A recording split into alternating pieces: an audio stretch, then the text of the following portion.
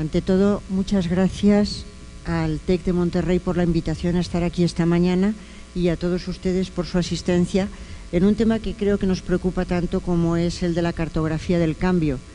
Evidentemente los cambios sociales son múltiples y supongo que quienes estamos en la mesa únicamente vamos a poder tratar de uno, cada uno de ellos. Yo voy a tratar sobre todo de un cambio que creo que se ha producido y se está produciendo y que va a tener un gran futuro y es el siguiente. Cuando yo estudiaba la carrera en la Universidad de Valencia y se hablaba de que había que cambiar el mundo, de que había que transformar el mundo, todos pensaban que había que transformar el mundo por medio de la política. Se entendía siempre, yo creo un poco en la línea de Hegel, que hay una distinción radical entre lo que es el mundo político, el mundo del Estado, el mundo de los partidos políticos y lo que es el mundo de la sociedad civil. Y yo creo que se entendía, siguiendo a Hegel, que la sociedad civil es ese terreno en que la gente persigue sus intereses egoístas, busca su propio bien, pero es incapaz de justicia y es incapaz de lo universal. Por eso entendían, o se entendía en general, que para cambiar el mundo había que entrar en política, en un partido político, relacionarse con el Estado, porque el Estado es el que sí que era capaz de justicia, el Estado es el que sí que era capaz de lo universal. Yo creo que esa dicotomía la vivimos los de la generación del 68, que es la mía, y sin embargo, paulatinamente, desde los años 70 del siglo XX, las cosas han ido cambiando y existe la convicción que yo quisiera destacar esta mañana de que los cambios y la transformación de la sociedad hacia mejor o la hace la sociedad civil o no se hará. Los cambios o los hace la ciudadanía o no se hará. Aquella idea de que solo la política es la que puede cambiar creo que ha quedado disminuida y ha cambiado hacia los ciudadanos son los que tienen que ser los protagonistas de su propia vida, los protagonistas de sus propios cambios. ¿Por qué se ha llegado a esta convicción? La verdad es que en el terreno filosófico que es en el que yo me muevo, una gran cantidad de autores progresistas han entrado en esta línea, entendiendo que justamente la línea del progreso, la línea de la transformación, es la apuesta por la sociedad civil y es la apuesta por los ciudadanos. Por eso creo que hay que hacer, como se hacía en aquellos tiempos, esos famosos rótulos que hacíamos, tal cosa se hará o no se hará, el siglo XXI será el de los ciudadanos o no será. Pero entonces nos encontramos con un problema y es que el dano no nace, sino que se hace. Creo que en los últimos tiempos esta expresión está cobrando, eh, está cobrando un gran arraigo. El ciudadano no nace, sino que el ciudadano se hace. ¿Y cómo se hacen los ciudadanos mexicanos? ¿Cómo se hacen los ciudadanos españoles? Creo que una de las grandes cuestiones que estamos intentando debatir e intentando sacar a la luz es el de cuáles son los valores de la ciudadanía. Unos valores que yo quisiera destacar desde el comienzo, que pueden ser los de una ciudadanía nacional y los de una ciudadanía cosmopolita. Desde los tiempos del estoicismo y desde la raíz cristiana hay una tradición de cosmopolitismo, de ser ciudadanos del mundo, a la que no se puede renunciar, pero es importante recordar que no se puede ser ciudadano del mundo sin ser ciudadano de la propia comunidad política, de la propia nación. En un libro que yo publiqué, que se titulaba Alianza y Contrato, defendía un cosmopolitismo arraigado, no el cosmopolitismo abstracto de estar solidarizándose con gentes de otros países y desinteresado del propio país, sino en una primera actitud de responsabilidad hacia la propia comunidad política, hacia los que son más próximos, pero sin perder nunca el horizonte del mundo, que al fin y al cabo es el horizonte de cualquier ser humano. Por eso entiendo yo que uno de los grandes cambios es el cambio hacia la ciudadanía, que tiene que ser la protagonista de las transformaciones, pero una ciudadanía que opte por un cosmopolitismo arraigado en su propia nación, en sus propias realidades, en la propia responsabilidad de lo que le rodea, porque si no, las cosas no estarán a la altura de lo que se merecen los seres humanos. Esa ciudadanía tiene que dotarse de unos valores. No es el momento ahora de entrar en esos valores, pero yo creo que tampoco son tan difíciles de recordar. Creo que son valores de libertad, libertad entendida como autonomía. Son valores de igualdad, es radicalmente injusta la desigualdad que hay entre los seres humanos, entre los distintos países y dentro de cada país. Reducir las desigualdades es una de las claves de nuestro tiempo y por eso muchos autores dicen que la igualdad es la virtud soberana. Otro valor sería sin duda la solidaridad. Es imposible que todos seamos autónomos y se reduzcan las desigualdades sin una solidaridad vivida en profundidad. Es fundamental no solo la tolerancia, sino el respeto a quienes tienen una cultura diferente de la propia, el respeto a otras culturas, el respeto activo de yo no comparto esa cultura, pero estoy dispuesto a respetarla. Y por último, diría que el diálogo, el resolver los problemas no mediante la violencia, sino mediante el diálogo. Entiendo que ciudadanos son aquellos que se dotan de esa fuerza que da el deseo de ser libres, pero con los conciudadanos, con los otros en el seno de la ciudad, desde la solidaridad, el diálogo y el respeto. Creo que si ciudadanos así hechos son los protagonistas del mundo, la transformación hacia mejor está asegurada. Y en este orden de cosas, yo quisiera llamar a esos valores una expresión que me parece importante y creo que es que constituyen el capital ético de las naciones. Me van a permitir que vaya un poco por eslóganes. El primero, la transformación del mundo la harán los ciudadanos o no se hará. La segunda, los ciudadanos tienen que ser cosmopolitas arraigados, se tienen que dotar de esos valores que encarnen en la vida social y esos valores componen lo que yo he llamado en ocasiones el capital ético de los países. Ustedes saben que capital es un activo producido productivo, duradero, que no se agota con un solo uso. El capital se produce, los valores se asumen, se aprenden en la familia, en la escuela, en la sociedad. Es productivo porque produce riqueza y además es duradero porque no se agota con un solo uso.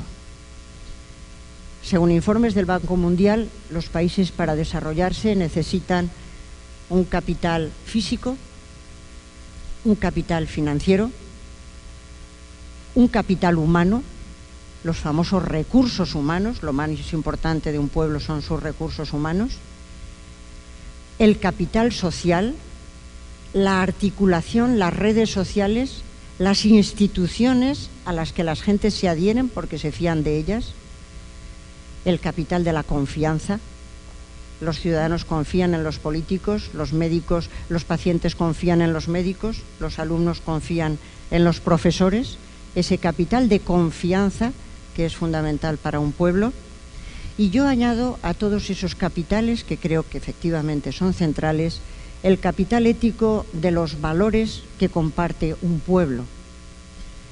Ese capital ético obviamente es el de cada una de las naciones y yo aconsejaría que todos nuestros pueblos, que son sociedades plurales, trataran de ver en algún momento de su historia cuáles son aquellos valores que prefieren, cuáles son los valores por los que están dispuestos a tomar sus decisiones en la vida. Creo que los pueblos se caracterizan por los valores que eligen. Es importante por qué valores elige un pueblo. Y creo que los pueblos tendrían que ponerse de acuerdo en cuáles son los valores por los que quieren elegir y, por lo tanto, cuáles son los que quieren transmitir en la educación y en la vida cotidiana. Obviamente la educación es de dos tipos, todos lo saben, formal e informal. Estamos en una universidad, en la universidad se da una educación formal y creo que es importante en, esas, en las universidades y en los colegios educar en la ciudadanía, educar en los valores de la ciudadanía para hacer una auténtica transformación social. Pero también es verdad que la sociedad tiene que formar a las gentes y por eso los medios de comunicación son fundamentales para formar. Son fundamentales las conductas de los hombres representativos, de los hombres más visibles, de los políticos, de la gente de la jet set, porque todo eso va formando a la ciudadanía y posibilitándolo. Creo que efectivamente hay que hacerse desde la educación formal e informal, creo que es importante hacer una reflexión en voz alta en los países sobre cuáles son los valores que nos interesan, cuáles son los valores que nos importan y creo que es importante con todos esos valores ir articulando ese capital ético que creo que nos puede ayudar a cambiar el mundo. En sociedades plurales, en sociedades multiculturales, creo que esa opción por un capital ético conjunto es central y es fundamental. Y yo por ir acabando, porque no quisiera que me pasaran el papel de que te queda poco tiempo, sino que quisiera ir acabando, creo que ese capital ético que se tiene que ir traduciendo tendría por lo menos dos polos centrales, en los que creo que todos podríamos estar de acuerdo, mexicanos, españoles y muchas gentes más.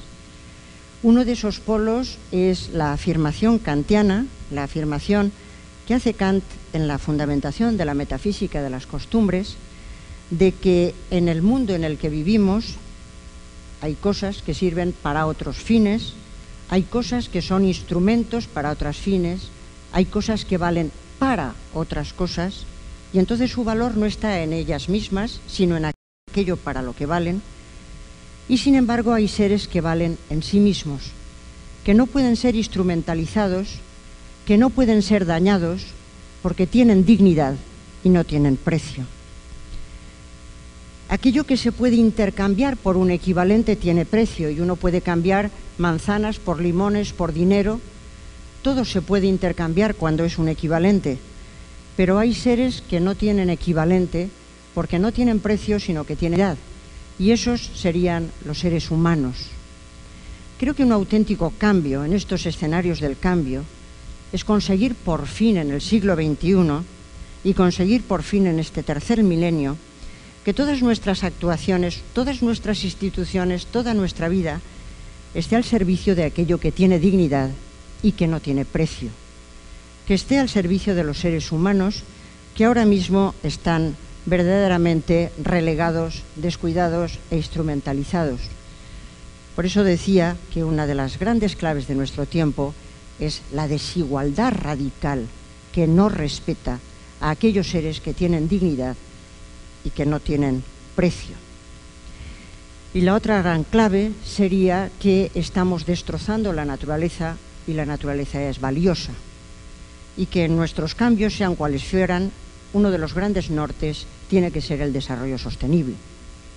Yo entiendo que el capital ético de la ciudadanía tiene dos grandes patas, dos grandes orientaciones, aquellos seres que tienen dignidad y que no tienen precio, y aquellos seres que son valiosos, como son los seres naturales, como es la naturaleza, que estamos explotando y a la que estamos sencillamente expoliando. Aquellos que nos sucedan van a encontrar una naturaleza mucho peor que la que hemos recibido. Y no es responsable, no es cuestión de verdaderos ciudadanos, el no mantener esa riqueza que hemos recibido para aquellos que nos sucedan, para que esté por lo menos tan bien como la hemos recibido y si puede ser mejor. Por eso yo propondría como uno de los grandes horizontes y lados del cambio el hacer que verdaderamente los protagonistas de la transformación social sean los ciudadanos, articulados, claro está, en un trabajo común con los políticos, ciudadanos que estén arraigados en su propia patria, en su propio país, pero sepan que tienen siempre un horizonte de ciudadanía mundial, ciudadanos que se sepan dotar de unos valores que merecen la pena más que otros, porque a lo largo de la historia nos ha costado mucho de aprender que la libertad vale más que la esclavitud, la igualdad vale más que la desigualdad, la solidaridad vale más que el egoísmo, el diálogo vale más que la violencia. Nos ha costado mucho de aprender que el respeto es mucho mejor que la intolerancia, como para arrojarlo todo por la borda. Por eso yo creo que uno de los grandes vectores del cambio tiene que ser el fortalecer este capital ético de nuestros países que vaya dirigido a respetar a aquellos seres que tienen dignidad y que merecen un mundo muy diferente del mundo que ahora tenemos. Por eso creo que hay que hacer una ciudadanía económica en la que los seres humanos seamos los dueños de nuestros propios bienes que hay que hacer una ciudadanía multicultural en que seamos iguales desde el punto de vista de la cultura. Todo eso creo que es un proyecto de futuro que puede ser ilusionante y que merece la pena emplearse en él. Muchas gracias. Muchas gracias. Eh, por cartografiar el cambio, entiendo, porque así me lo dijeron, las fronteras. Voy a hablar sobre las fronteras. Son de muchos tipos, algunos metafóricos. Las fronteras, la ciencia, la nueva frontera del presidente Kennedy, o en las palabras inmortales del capitán James T. Kirk, el espacio, la última frontera. Aun si enfocamos en fronteras reales, hay varias. Génesis eh, nos dice hasta ocho, fronteras mineras, agrarias, ganaderas, etc. Para contener este enorme tema entre los límites de una ponencia de 15 minutos, voy a colapsar todas las categorías en nada más dos, fronteras políticas y demográficas. Las fronteras políticas definen las unidades políticas, típicamente las naciones, pero también las unidades subnacionales, los estados de la Federación Mexicana, por ejemplo, hasta los municipios. La historia de México está llena de conflictos sobre los límites municipales y a veces los estatales también. De ahí la creación de nuevos estados, como Aguascalientes, los esfuerzos, hasta ahora vanos, para establecer los estados del Istmo o de la Huasteca. Al nivel local, los límites entre pueblos y haciendas, pueblos y pueblos, fueron cruciales en la gestación de la revolución y la reforma agraria. La reconstrucción postrevolucionaria, dice Raymond Crave, haciendo eco de Martí R. Gómez, fue llevado a cabo tanto por cadenas de medir, measuring chains, como por armas de fuego. Estas fronteras tienen en común el hecho de ser trazadas en mapas, son obras de autoridades políticas primero y cartografistas después. Por lo tanto, son fáciles de discernir en los mapas. Las fronteras demográficas no son tan claras, no corresponden a decisiones autoritativas políticas, sino al movimiento del pueblo, es decir, a múltiples decisiones descentralizadas. La forma más célebre es la frontera de asentamiento en donde los pioneros entran y se asentan en una tierra de nadie. Pero esta imagen puede ser muy engañosa. La tierra de nadie puede ser en realidad tierra de poca gente o de gente que no cuenta cuando el general Julio Roca alcanzó la conquista del desierto en la Argentina de los 1880, tuvo que eliminar a los indios de la Pampa, es decir, el desierto conquistado no fue un desierto real. Proceso algo parecido tuvo lugar en Estados Unidos, incluso en el Gran Chichimeca, en el norte de México, de la Nueva España, penetraron opciones y presidios coloniales, un proceso con avances y retiradas, como la Gran Rebelión de los Pueblos, que continuó hasta fines del siglo XIX, con la llegada de los ferrocarriles y las últimas campañas contra los indios bárbaros del norte. Vale acordarnos que Monterrey todavía, fue víctima de sus ataques en los 1870. Las fronteras argentinas, mexicanas y estadounidenses fueron demográficos en el sentido que su avance fomentó la formación de mayores concentraciones de población, misiones, minas, haciendas, colonias, etc. Pero el crecimiento demográfico fue relativo. Los pioneros no entraron en tierras vacías, más bien reemplazaron a poblaciones autóctonas menores. Para hacer eso, libraron guerras y introdujeron nuevas formas de producción, la minería, la ganadería, la agricultura y vieron su avance, en palabras del argentino Sarmiento, como el triunfo de la civilización sobre el barbarie. Es decir, el avance demográfico fue casi siempre un fenómeno de conquista y control, los requisitos necesarios para la llamada civilización. Como procesos dinámicos, tales fronteras se han visto como motores de la historia, más que nada por el norteamericano Frederick Jackson Turner, que consideró la frontera como la encrucijada de la historia norteamericana. Y de ahí eh, del carácter estadounidense, atrevido, individualista, innovador y igualitario. Uno podría, podría agregar violento, ingobernable y racista. Los críticos han hecho pedazos la tesis de Turner y no valdría la pena repetir los argumentos pro, que son pocos, o en contra, que son muchos aunque vale notar que no obstante la verdad concreta, el mito de la frontera sigue vigente inspirando no solamente las películas de Hollywood, sino también el discurso político, tanto progresivo, progresivo, progresivo como la nueva frontera de President Kennedy, como conservador, la belicosa retórica pseudo-vaquera de George W. Bush. La contraparte latinoamericana, quizás más cercana, se ve en Brasil con los banderantes paulistas, pero el norte de México también tiene sus mitos fronterizos. Por ejemplo, tenemos la autoimagen de los líderes sonorenses, la revolución mexicana como hombres audaces, innovadores, representantes, en palabras de Agla Camín, de la frontera nómada. Estas dos formas de frontera política demográfica pueden coincidir o no. En la segunda mitad del siglo XIX, la frontera norte de México fue tanto un límite político como una frontera demográfica, donde la población fue escasa, y por lo tanto el control del centro, la producción económica y las muestras de la civilización también faltaron. Ah, y tengo varias cifras demográficas que no tengo tiempo para darles. Pero la lógica política exigió el fomento del asentamiento, el avance de la frontera demográfica. Gobernar es poblar, como dijo el argentino Alberti. Discúlpeme tantas uh, citas argentinas en este. Y la lógica fue aún más exigente cuando la frontera lejana y poco poblada lindaba con una potencia agresiva como los Estados Unidos. Por lo tanto, Juárez y Díaz y sus sucesores revolucionarios se esforzaron para promover la colonización, el desarrollo, el control político del norte por medio de las colonias militares con Juárez, los ferrocarriles con Díaz, el riego, las obras públicas, la educación con los revolucionarios. Esta política de forjar patria tuvo éxito aunque su éxito también dependió de fuerzas económicas sobre las cuales los gobiernos, incluso el gobierno de la revolución, tuvieron un control limitado. Por ejemplo, la minería, la inversión extranjera, el comercio fronterizo, crecimiento demográfico y la migración.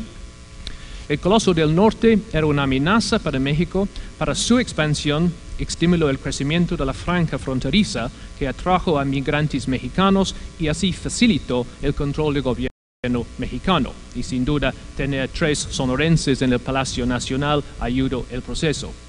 Durante la revolución hablaron de una secesión sonorense o de la pérdida de Baja California, pero estas cosas nunca se pasaron. De hecho, las secesiones reales ocurrieron en el sur, en Oaxaca y Yucatán. El crecimiento sostenido de la población y la economía fronterizas a través del siglo XX ha querido decir que en México como en Estados Unidos de Turna, la frontera geográfica casi se cerró. Crecieron nuevas ciudades, mejoraron las comunicaciones, aumentó el control del centro. Si México todavía eh, tenía fronteras demográficas a fines del siglo XX, estaban en el sur. Por ejemplo, la selva lacandona, donde miles de migrantes se asentaron en los años 70 buscando tierras, oportunidades y un escape del control tradicional de los caciques chiapanecos allá echaron los cimientos del movimiento zapatista de los 90. Al contrario de Turner, no creo que el cierre de la frontera mexicana es un asunto histórico clave. Aun si Turner tuviera razón en el caso norteamericano, y como he dicho hay muchas, hay muchas dudas, la frontera mexicana es otra cosa. De hecho, ha habido muchas fronteras, cada una con sus características. En Michoacán, la expansión demográfica del siglo XIX produjo comunidades católicas como, y conservadores como San José de Gracia. En la Sierra Madre Occidental de Chihuahua, las colonias militares fueron liberales y revolucionarios. Cien, años después, en la frontera lacandona, como ya mencioné, incubó el movimiento zapatista.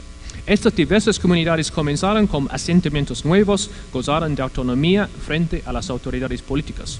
Pero el carácter de cada comunidad fueron distintos. Namequipa se rebeló contra Díaz, San José apoyó a los cristeros, los zapatistas se alzaron contra el PRI y el TLC.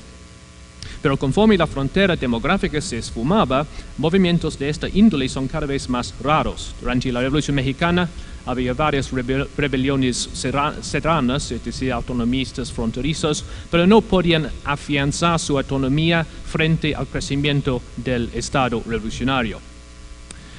Por contraste, a través de los siglos XIX y XX, las fronteras políticas permanecieron y con el fortalecimiento del Estado se volvieron más claras y reales. Sin embargo, en los últimos años, digamos desde los 80, y por, um, un coro cada vez más estridente ha cantado la declinación de los estados-nación y por tanto la erosión de las fronteras entre ellos. Las líneas quedan trazadas en los mapas, pero tienen menos realidad. Son una ilusión cartográfica. Vivimos un mundo sin fronteras. Palabras del japonés Omai. Es verdad que habían visto el cierre de la frontera demográfica, ahora experimentamos el ocaso de las fronteras políticas, víctimas del inexorable proceso de globalización y particularmente está la frontera norte de México en vías de desaparecer, disolviéndose en una nueva entidad que se llama se llamado Mex America.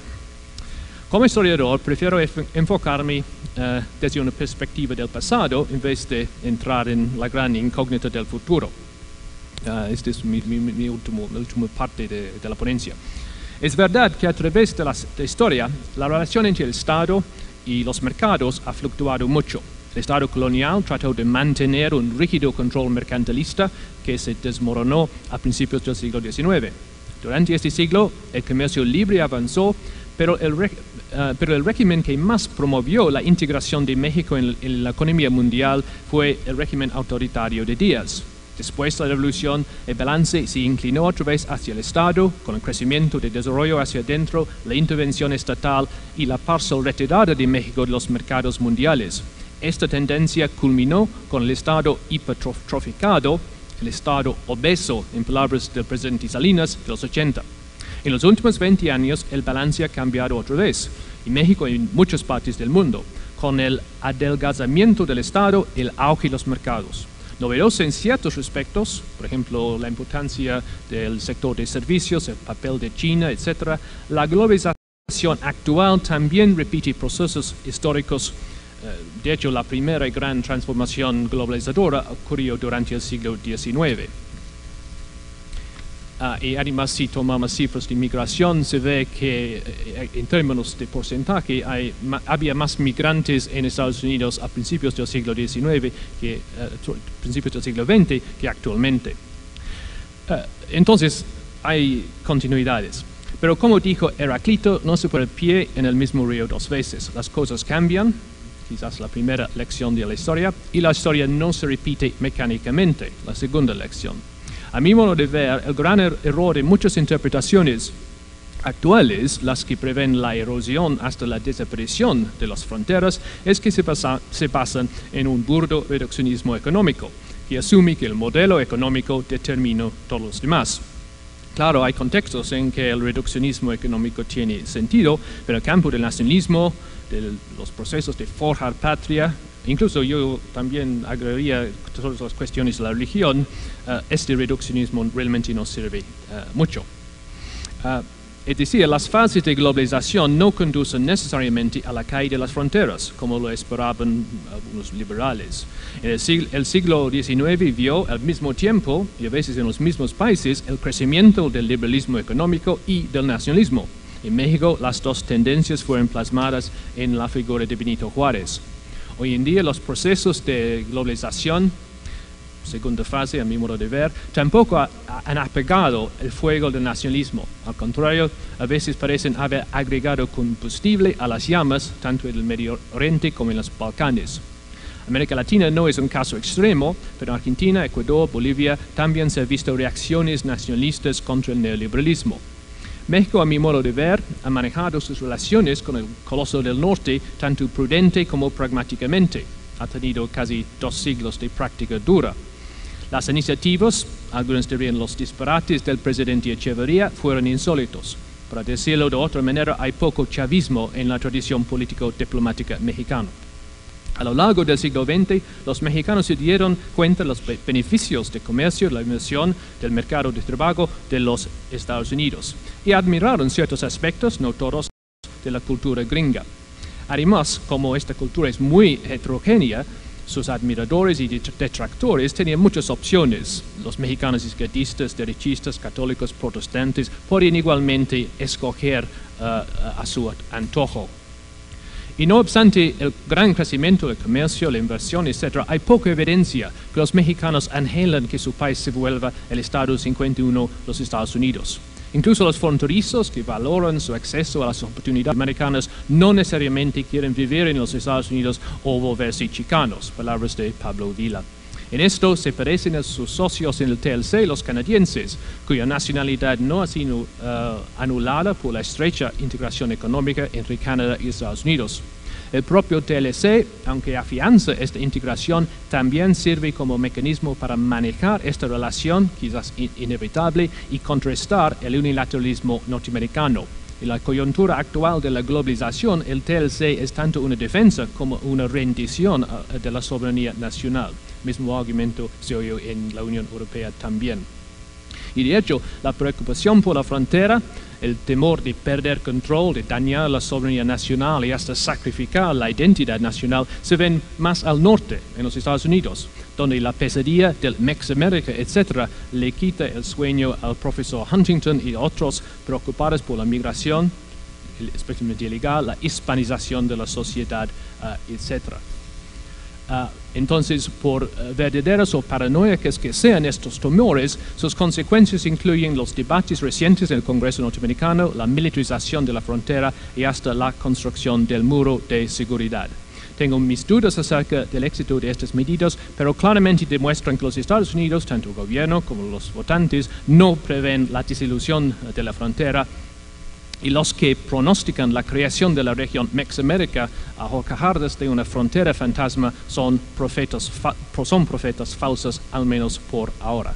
La frontera todavía tiene una gran realidad, demarca dos estados-nación cuyos pueblos no buscan una fusión supranacional y por otro lado dos sistemas diferentes de ley, la política, dos mercados de trabajo diferentes, dos culturas, o mejor dicho, toda una gama de culturas diferentes. Último última oración. A veces algunos latinoamericanos, los brasileños en particular, hablan como si los mexicanos hubieran vuelto la espalda al resto del continente para volverse ciudadanos del Teselandia, los nafteños. Pero esta opinión me parece errónea y otra vez basada en un reduccionismo económico, según el cual la infraestructura determina el resto de la superestructura política, social, cultural, pero yo creo que las cosas no realmente funcionan así. Gracias. Gracias, Lucrecia. Bueno, antes que nada quisiera yo agradecer la, invitación a lo que entiendo como una sesión de, lluvia de ideas, de provocación. Yo he aprendido mucho de la espléndida, eh, de las espléndidas intervenciones de Adela y de Alan Knight. Eh, y lo que voy a lanzar es eso, una serie de reflexiones, tan solo eso, que buscan provocar eh, provocar en nosotros una idea de cartografía del futuro, de cómo podría ser ese futuro. Yo creo que lo primero de lo que tendremos que hablar, sin duda, es eh, del fenómeno demográfico que vamos a vivir en las próximas décadas. En eh, octubre del año 99, el New York Times celebró la, el arribo simbólico del ciudadano 6 mil millones y se calcula en los escenarios no catastrofistas, en los eh, medianos del Banco Mundial y del Fondo Monetario Internacional, que llegaremos al final de este siglo a los 9.500 millones de seres humanos. De tal manera que el siglo XXI va a ser el siglo de la gran, gran explosión demográfica y esta explosión demográfica sin duda va a ser una de las condicionantes que todos tendremos que afrontar. Naciones Unidas también nos advierte que este, este será el siglo de las migraciones, con todo lo que esto supone. Se calcula que alrededor de 300 millones de seres humanos están ya en vías de migración de sur a norte, de países pobres a países ricos.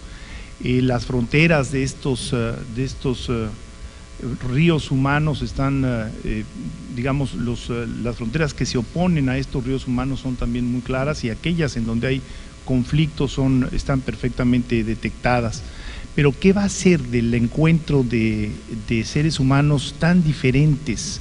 ¿Qué va a ser de, esta confrontación de culturas que se va a propiciar por lo, por lo migratorio? Es algo que no sabemos muy bien. Sabemos, sin embargo, que el fenómeno del Estado, como decía Alan Knight, eh, el fenómeno del Estado sigue siendo algo verdaderamente apasionante. Iniciamos el siglo XX, con alrededor de unos 63, 65 estados-nación, eh, vivíamos en plena época del colonialismo, eran grandes estados-naciones que tenían territorios o que controlaban territorios muy lejanos a donde estaban las metrópolis. Y terminamos el eh, siglo XX con 193 estados-nación hubo una multiplicación casi por tres del número de Estados-Nación. Cuando se habla del fin del Estado-Nación, uno dice, bueno, en realidad los datos contradicen esto. El Estado-Nación ha sufrido muchísimas modificaciones, por supuesto que la soberanía, tal y como la entendíamos a principios del siglo XX, tiene muy poco que ver con lo que se está manejando eh, en este inicio del siglo XXI.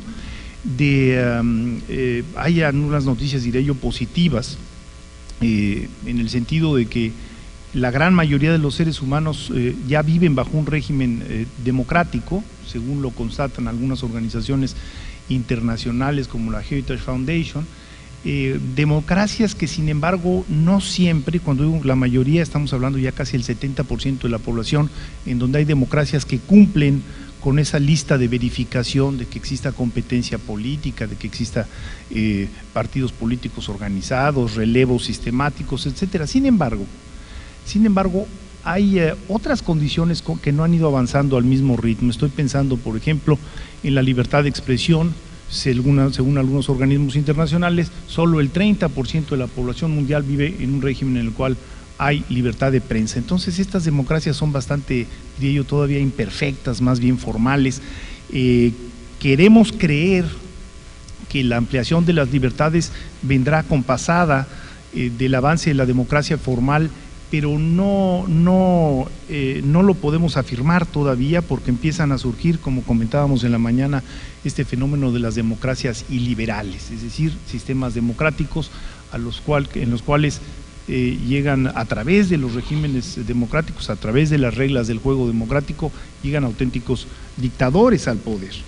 De tal manera que estas eh, condiciones generales que están afectando al mundo serán, serán las que determinen las nuevas, eh, las nuevas fronteras y, creo sin duda que el mundo que veremos para el 2040 podría ser total y absolutamente diferente del que tenemos en la actualidad.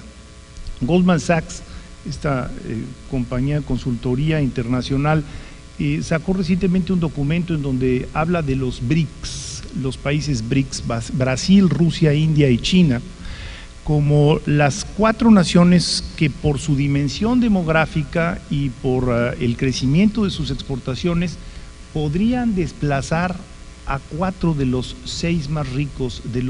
De tal manera que para el 2040, que suena muy remoto pero no lo es, para el 2040 de los, del G6 quedarían solo dos de los actuales, Estados Unidos y Japón, y los otros habrían sido sustituidos por estos nuevos cuatro actores cuyas exportaciones están creciendo a ritmos del 30% anual. Eh, de tal manera que los cambios de ese, de esa, de ese mapa de navegación que queremos tener frente a nosotros es, eh, eh, son realmente apasionantes eh, algunas noticias no son muy buenas, uno pensaría que en una era de eh, gran comunicación, en donde realmente podemos traer en el bolsillo un aparato que nos comunique con el otro lado del orbe, eh, podríamos estar mejor comunicados, sin embargo, esto no es del todo así. Y recientemente el Nouvel Observateur sacó una, un estudio apasionante del de, registro de la soledad en el mundo y, resulta que en un país tan comunicado como es Francia, uno de cada tres franceses se considera que vive solo, se siente en soledad. ¿Por qué se siente en soledad? Porque a pesar de que esté el celular en la bolsa del nieto, el nieto se encuentra en una situación tan diferente que simplemente ya no se comunica con su abuelo. Al ver, al haber eh, un crecimiento de la esperanza de vida, eh, eh, no necesariamente la esperanza de vida ha venido acompañada de mayor comunicación entre los seres humanos o de mayor compañía entre los seres humanos. Los solitarios en el mundo hoy son mucho más de lo que lo eran a principio de siglo. Paso, paso ahora a un segundo apartado de algo que ya, que ya mencionó Adela, y es eh, que esta, este aumento en la población y esta migración sistemática y esta necesidad de algunos países ricos, como es el caso de España precisamente y de Italia, que tienen tasas de crecimiento demográfico negativas, eh, lo cual los hacen necesitar de mano de obra, de mano de obra fresca, joven, y está acelerando una confrontación eh, eh, cultural que realmente no sabemos muy bien en qué va a, terminar. cuando digo confrontación, eh, lo digo con toda la conciencia de la palabra porque si bien es cierto que hemos logrado algunas incorporaciones, eh, eh, diría yo, no conflictivas, la mayoría en el registro internacional han sido muy conflictivas, incluso la propia, la propia España, que, es un país, Iberia es un país que surge precisamente de las migraciones, pues ha tenido un rechazo al Magreb con, con, consecuencias eh, a veces violentas, no se diga, no se diga eh, otros países en donde hay una franca xenofobia como o estados de la Unión Norteamericana contra los mexicanos y debo decir que los mexicanos no estamos exentos de responsabilidad. En los registros de xenofobia, eh, la única inmigración que los mexicanos aceptan es la europea. Incluso la, sudamericana recibe un enorme rechazo. Cerca del 75% de los mexicanos rechazan la migración que viene de América Latina. Y entonces ahí uno se pregunta, bueno, eh, ¿qué vamos a hacer? Decía Adela refiriéndose a, esos mínimos que deberíamos de tener todos para mínimos universales, que recuerda la discusión particular universal de Hegel, ¿no? Bueno, es, imponer esos mínimos pareciera eh, poco democrático y sin embargo, bueno, si no se imponen esos mínimos de convivencia, entonces pareciera que el enemigo podría estar en casa. Es realmente asombroso que incluso autores liberales como podrían ser Giovanni Sartori, eh, para no hablar de Huntington, que es básicamente conservador, pero incluso autores liberales empiezan a decir, tenemos que ponerle un límite. Y ese límite no solo es en la cantidad de los migrantes que estemos absorbiendo, sino tenemos que ponerle un límite al comportamiento, o aceptan las reglas de nuestra sociedad o no, o no entran. por eso creo que vamos a, vamos a ir eh, viendo eh, eh, una tensiones, tensiones que no son nuevas en la historia de la humanidad, siempre que ha habido avances de teorías finales del siglo XVIII, principios del XIX, siempre surgen estas nuevas reacciones que quizás son parte de la explicación de la, de la multiplicación de los estados-nación y de su empequeñecimiento, porque los estados-nación, los últimos estados-nación que han surgido en las últimas décadas son estados-nación muy pequeños que nacen a partir de definiciones étnicas, lingüísticas, culturales, eh, eh, que, parecieran eh, ser cada vez menos comprensivas. Otra de las, de las variantes, de las, diría yo, que tendremos que tener presentes permanentemente, es que está habiendo un cambio en las grandes coordenadas religiosas apasionante.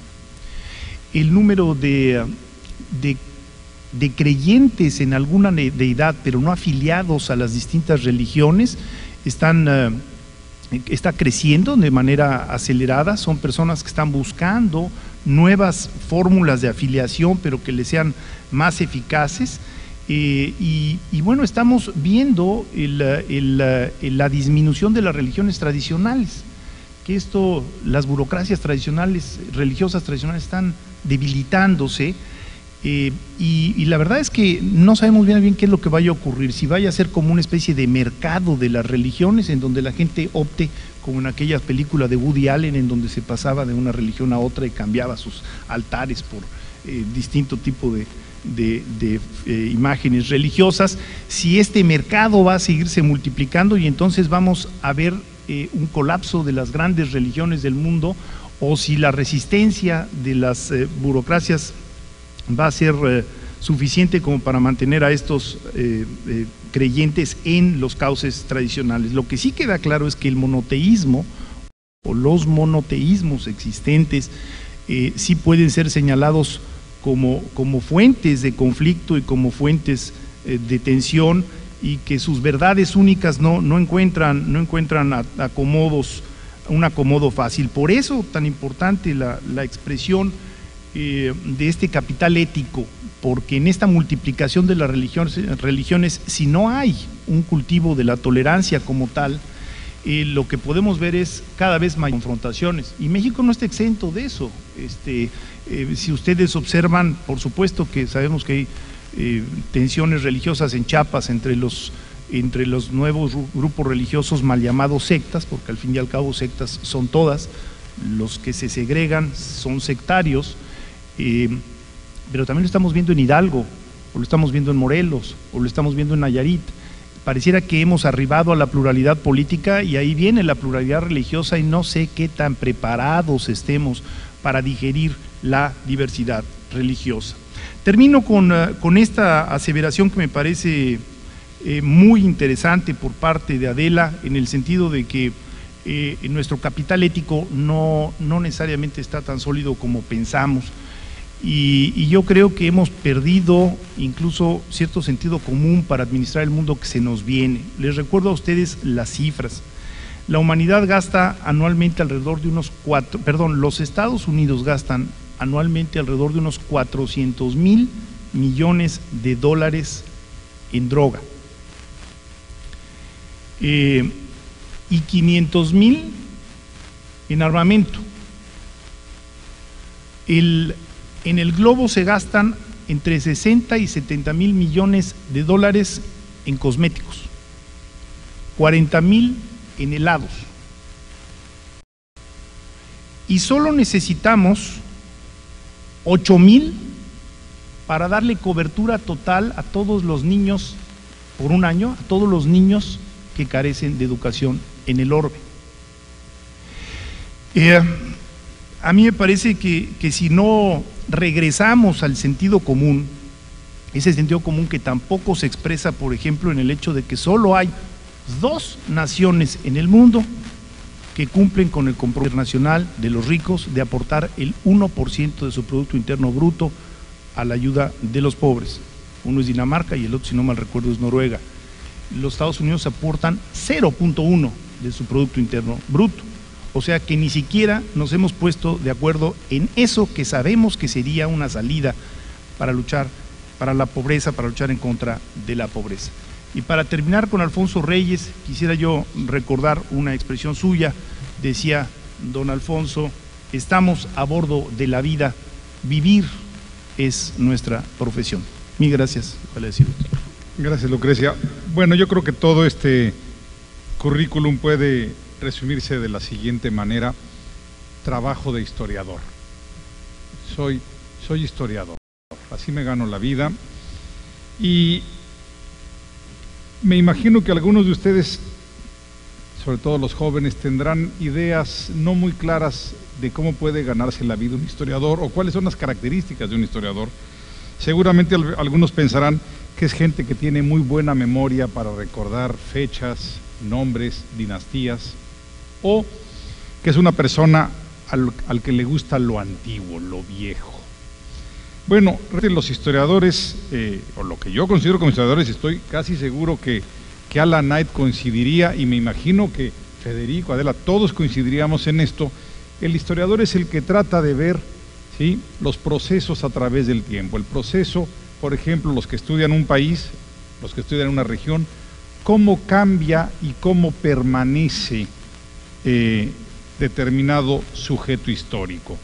Y esto me lleva al tema que se nos pidió desarrollar para ustedes, cartografiar el cambio. Y entonces lo primero que digo es, México, si consideramos únicamente la historia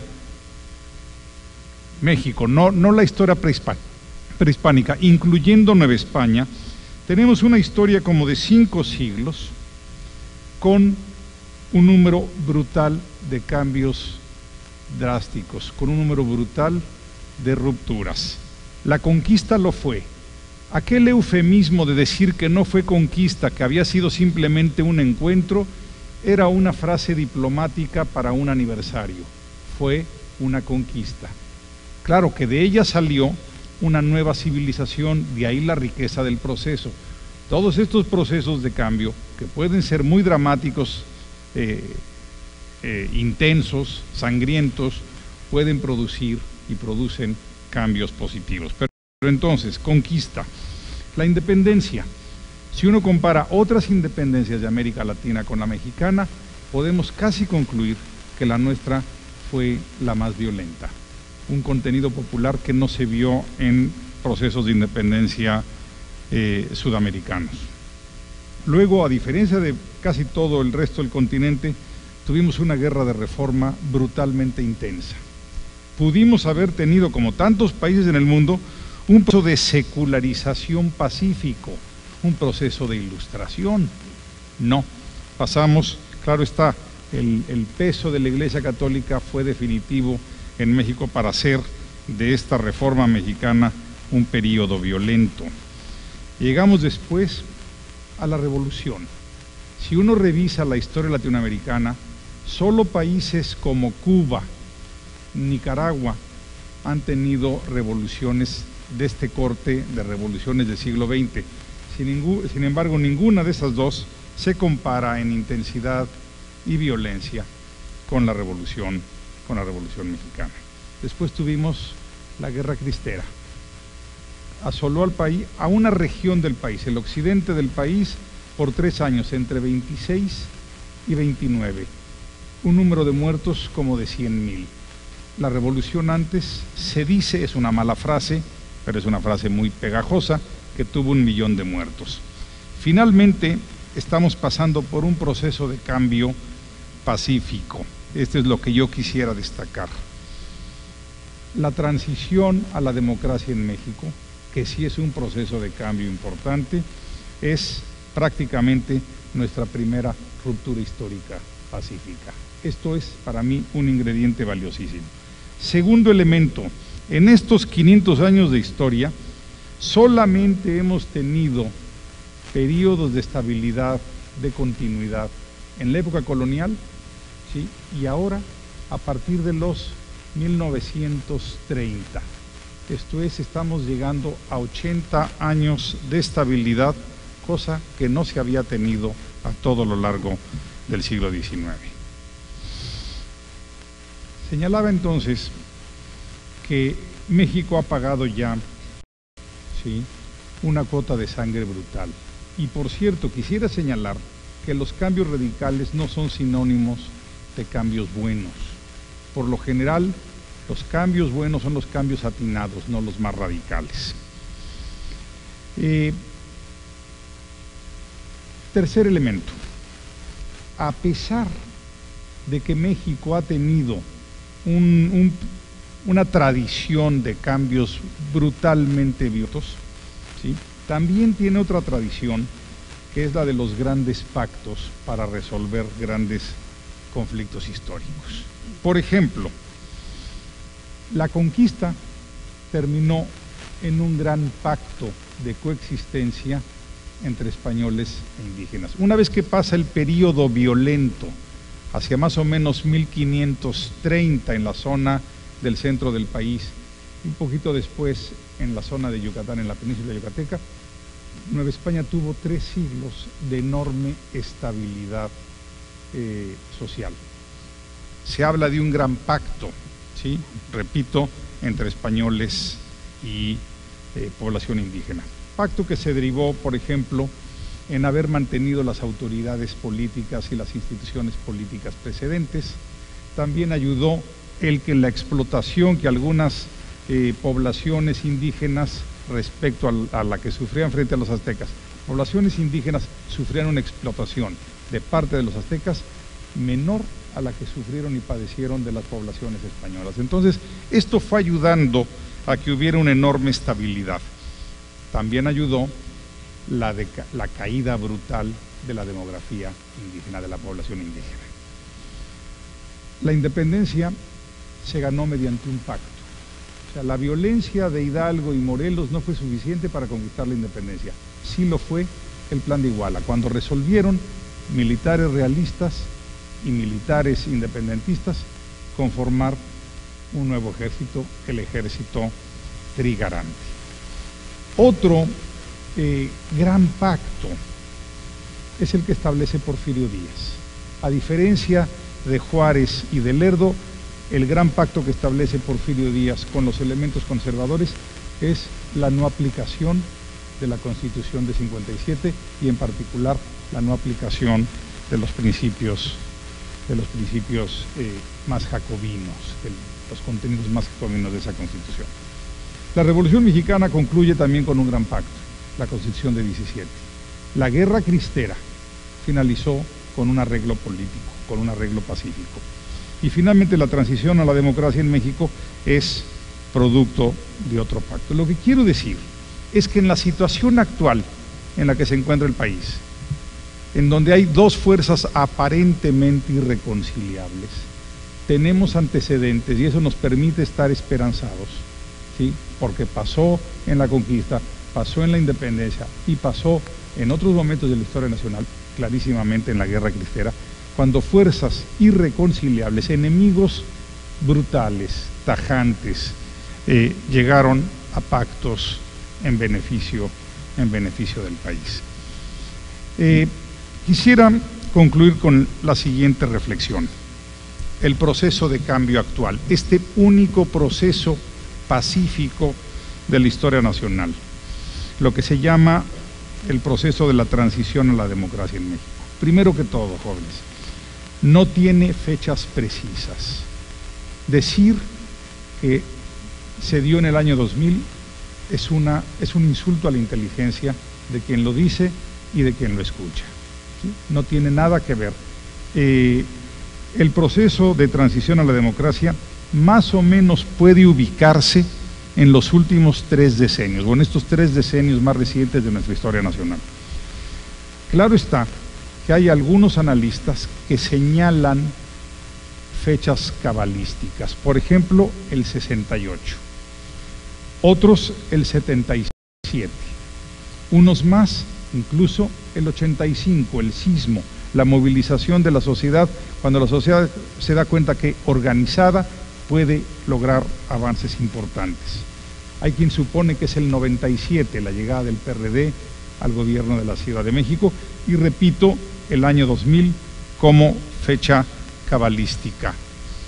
De algunas de estas, por ejemplo, el 68 fue más capitalina y sectorial. El 85 igualmente eh, capitalina. Yo no creo en fecha alguna. Quisiera que ustedes lo empezaran a ver también como un proceso. Segundo punto, el proceso a la transición no tiene propietarios. Es, es un proceso resultado de muchos actores individuales y colectivos. Por favor, no aceptemos que alguien se ponga la medalla de la transición. Voy a mencionar entre los actores eh, colectivos al movimiento estudiantil de 68, al sindicalismo independiente del decenio de los 70, a los varios intentos, casi todos ellos fallidos, de la construcción de partidos de izquierda entre los años 70 y 80, y sobre todo a varias organizaciones recientes de la sociedad civil.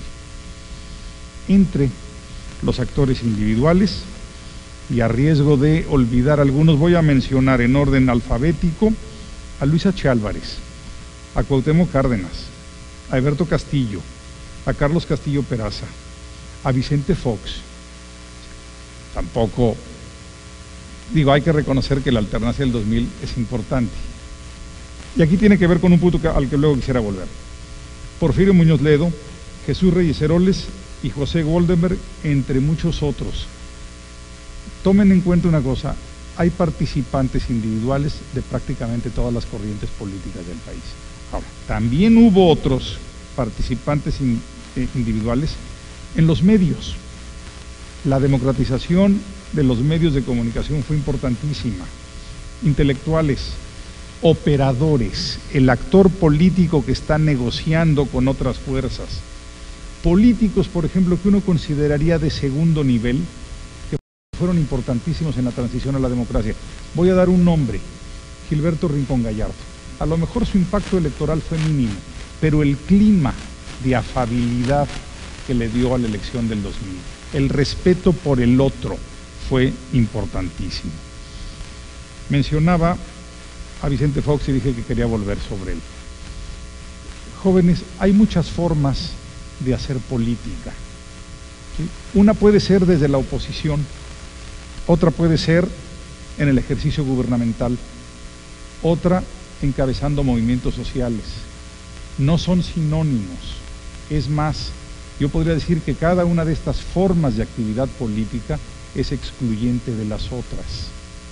No le pidamos ¿sí? al que es un buen opositor electoral que sea un buen hombre de gobierno. Si creen que estoy pensando en Vicente Fox, se equivocan. Estoy pensando en Francisco y Madero en este momento. Pero podrían, podrían cambiar de ejemplo. Y entonces concluyo para dar lugar a un poco de debate y hablo o aludo a otro personaje sí, muy importante de la actualidad. Puede ser un importantísimo líder social, pero no ser útil como gobernante. Muchas gracias.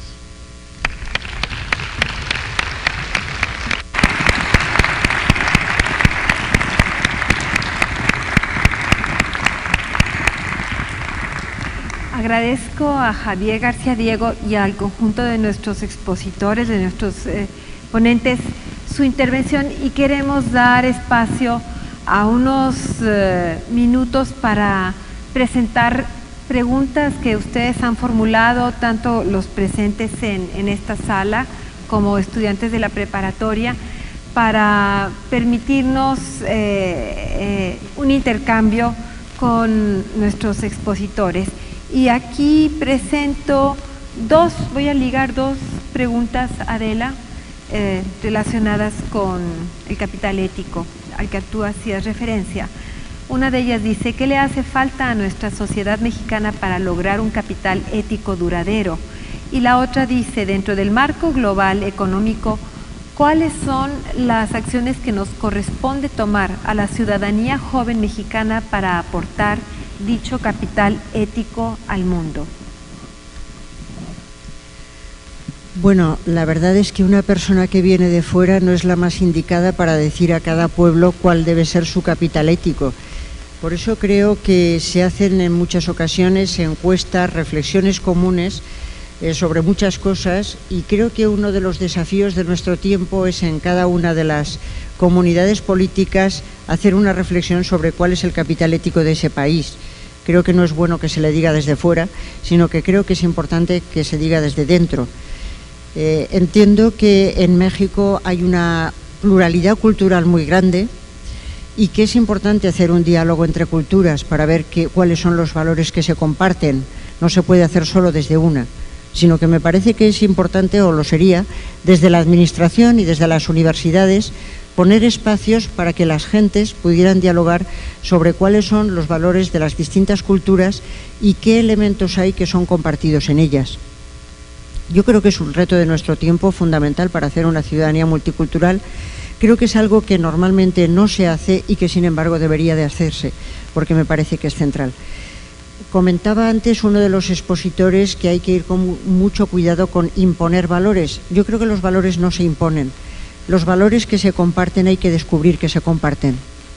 Creo que el capital ético tiene que descubrirse, no imponerse, jamás. Las cuestiones éticas se descubren cuando uno, a través del diálogo, empieza a percibir que le interesa más la vida que la muerte, que le interesa más ser libre que esclavo, y que en las distintas culturas vamos descubriendo eso en su base. Me parece que es central porque si no lo que nos ocurre es que al final no hacemos ese tipo de diálogos y sí que es verdad que vienen desde fuera, pero entonces no son un capital nuestro. El capital nuestro lo hemos de descubrir y producir nosotros y producirlo conjuntamente. ¿Qué pueden hacer los eh, estudiantes? Yo creo que es importante para un estudiante saber que cuando alguien tiene la inmensa fortuna de estudiar en una universidad, eh, está recibiendo algo que tiene que revertir a esa sociedad. A fin de cuentas, otros no han recibido nada por el estilo. Entonces, lo que uno eh, aprende en su universidad no puede ser solo para él mismo, sino que tenemos que poder quiere decir responsabilidad. Y cuando uno aprende cosas, es responsable de aquellas cosas de las que ha aprendido. ¿Para qué?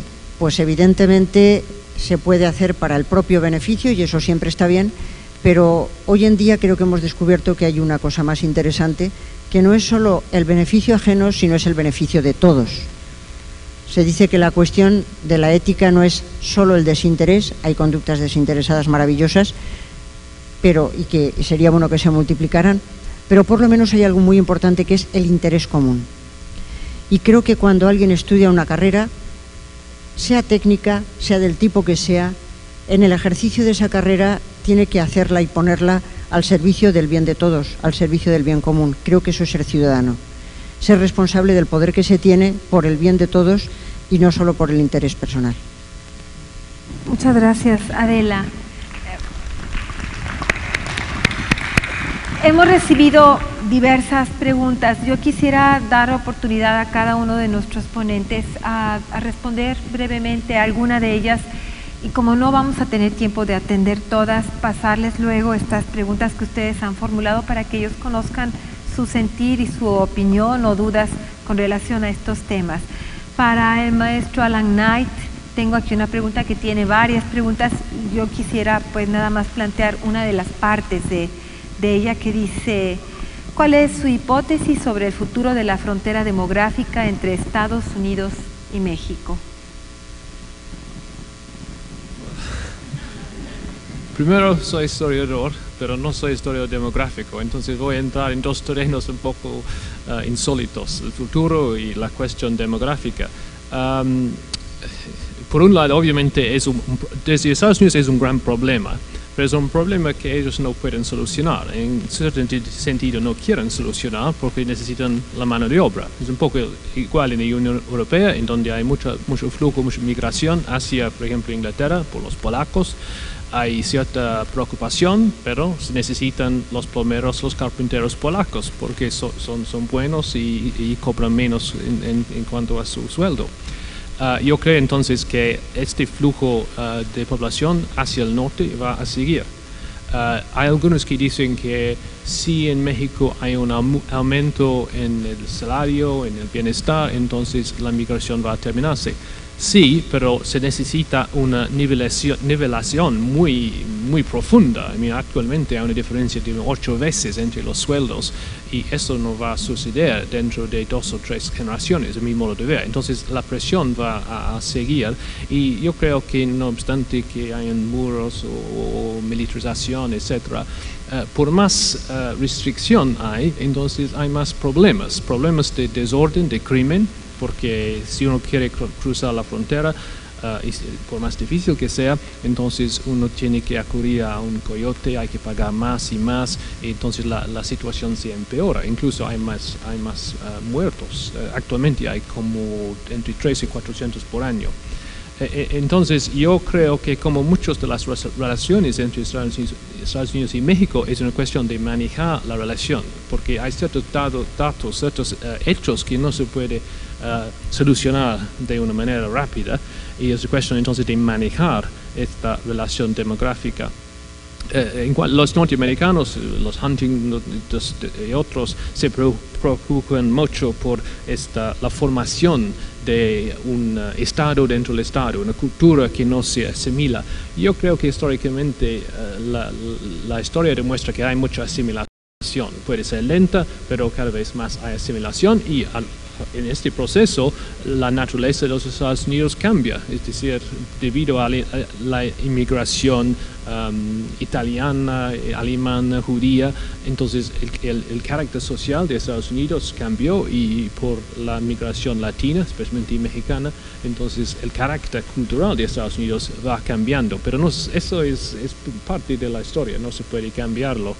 Um, mi último punto, uh, las cifras de, uh, de, Federico sobre el crecimiento demográfico son impresionantes, pero hay que tomar en cuenta que el crecimiento demográfico está cayendo en muchos países. Hay países, como mencionó, como en Europa, como Italia, España, en donde hay un crecimiento negativo.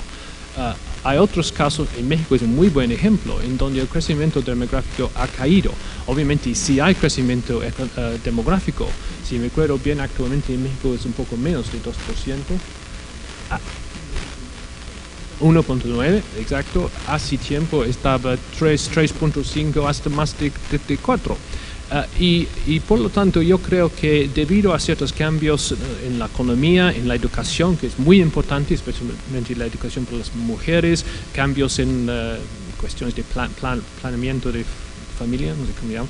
Uh, entonces yo creo que el futuro demográfico no es tan, tan difícil. Es decir, sí habrá problemas, pero eso no veo como el gran problema del, del mundo.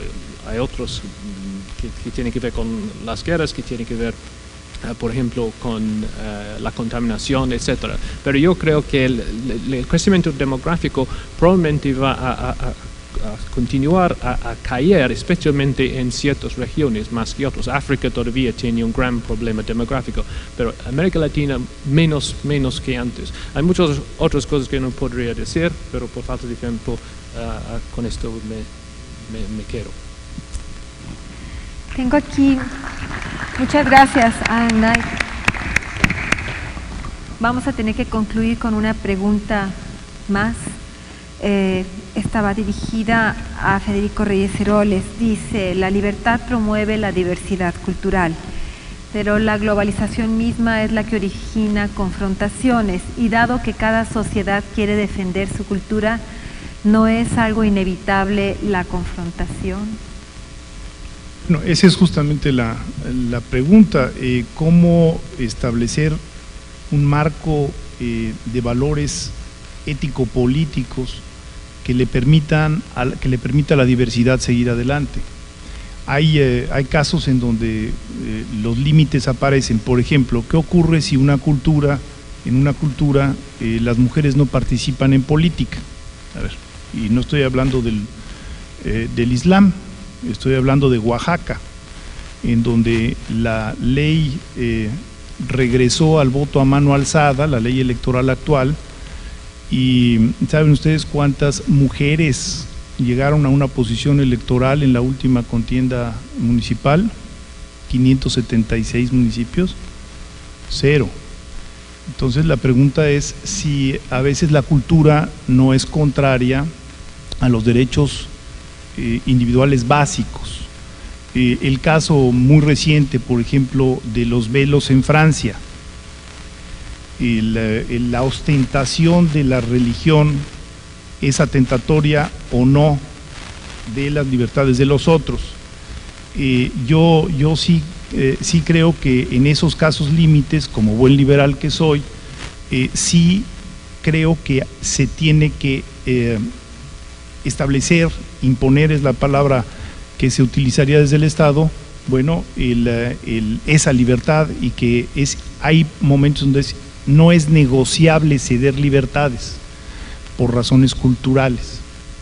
Creo que eso es hacia donde vamos. Ahora, yo creo que, la, que el margen debe de ser tan amplio como sea posible para no, no, no, eh, no caer en estrecheces de miras, pero hay situaciones límite en donde sin duda va a tener que haber, eh, eh, digamos, rigideces estatales. ¿no? Estoy pensando, por ejemplo, en todas las mutilaciones sexuales que ocurren en algunos países africanos a las mujeres. Bueno, pues será una tradición milenaria, pero en una sociedad democrática, en una sociedad liberal, no podría aceptarse que esto siguiera adelante. Entonces, eh, esa es la pregunta. Yo, yo coincido con Alan Knight en el sentido de que la capacidad de absorción es enorme eh, y también creo que lo que vamos a tener que hacer es eh, ser muy flexibles en, lo que se refiere al folclore y poco flexibles en lo que se refiere a las cuestiones de fondo. Eh, y esas cuestiones de fondo no son demasiadas. Pero por ejemplo, si ustedes me dicen la costumbre de la mano alzada en México, del voto a mano alzada, debía de ser prohibida. ¿Por qué? Porque uno de los grandes inventos de Occidente fue la secrecía. El voto a mano alzada está comprobado que inhibe la diversidad. Entonces, esos son los límites, ¿no? Hay algunos límites muy claros. Mi gracias. Nos indican que podemos eh, eh, eh, destinar unos minutos para una última pregunta para nuestro consejero Javier. García Diego. Y tengo aquí una pregunta sobre el nuevo periodo presidencial de México. Es una pregunta de opinión. ¿Qué opina? ¿Cómo deberá enfrentar la nación el nuevo periodo presidencial? ¿Qué beneficios, qué problemas se obtendrán? Bueno, yo soy historiador, no, no politólogo, y por eso estaba reflexionando sobre los cambios eh, de la época de la conquista y la independencia y demás. Entonces lo que voy a, decir sobre el, inminente periodo presidencial que inicia pues ya en, un par de meses, ¿verdad? Menos ya, van a ser eh, opiniones pues de ciudadano y creo de que de ciudadano liberal. Eh, yo lo primero que señalaría es que eh, las elecciones deben ser leídas en lo cuantitativo y en lo cualitativo. Entonces, Eh, Felipe Calderón tiene eh, muy clara una, idea de México. Bueno, me imagino que la tiene clara porque fue tal, tan evidente el resultado electoral que tenemos una población que atender, una política social urgente, una política de integración regional. No puede seguir habiendo estos llamados dos Méxicos, el del norte moderno y el del sur atrasado. No puede haber estos niveles de pobreza en ciertos sectores de la población. Eh, yo simplemente le señalaría a Calderón y a su partido que la modernización económica y la modernización política tan defendida por ellos supone también una modernización cultural. No se vale ser moderno en lo político y en lo económico y no serlo en lo cultural van las tres cosas juntas. Entonces, para mí esa sería la sugerencia que yo le haría.